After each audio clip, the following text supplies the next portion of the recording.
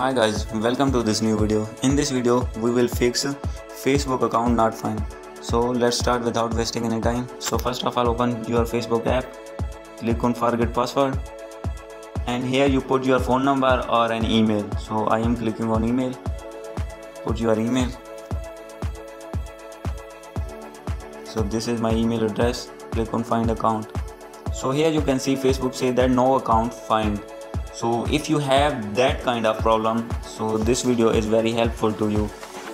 So first of all go back. And after this open your UC browser or any other browser like Opera uh, like this.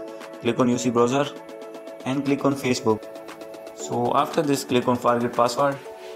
And here you put your number or Gmail address. So I am putting my Gmail address. So this is my Gmail address. Click on search so here you can see Facebook gives me two Facebook account that made on my number on my Gmail.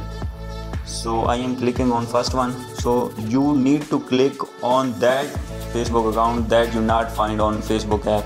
So click on first one or second one. I am clicking on first one. So here you can see. So here you enter your new password.